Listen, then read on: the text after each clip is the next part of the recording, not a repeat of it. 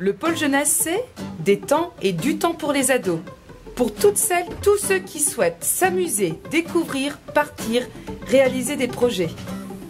Pour qui Pour tous les jeunes de 11 à 17 ans, quel que soit leur lieu d'habitation. Quand Toute l'année, en période scolaire du lundi au samedi, pendant les vacances scolaires du lundi au vendredi.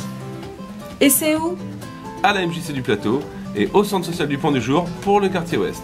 Et bien entendu, sur les quartiers. Et qu'est-ce qu'on y trouve? Une équipe d'animation, un foyer équipé, des salles d'activité, une billetterie cinéma, piscine, etc. Et qu'est-ce qu'on y fait? On y fait des projets avec et par les jeunes, des animations culturelles et sportives, artistiques et numériques, des sorties, des séjours et même des mini-camps. Et comment s'inscrire?